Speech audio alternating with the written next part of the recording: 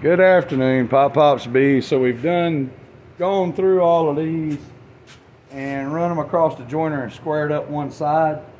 So now it's time to rip them. We're gonna rip the long sides and the short sides because they're the same width at the same time. When I go through, we'll be looking for boards like this one here that's cracking. So that's automatically gonna become a short side because I can cut the crack out of it. I'm also looking for knots. I can pretty much get rid of that whole knot and the crack on this board here is a short side. I only edged this side because I'm gonna cut that out. So I didn't even, I didn't even edge the other side. So we're gonna rip all of these. I'll start two stacks now is what I'll do because I've got to, to split the boards because half of them are gonna be long sides, half of them are gonna be short sides.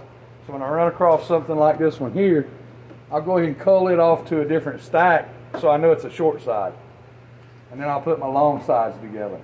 That way, you know, I'm, I'm saving time and, and what I've got to cut. So that's what we're gonna do now.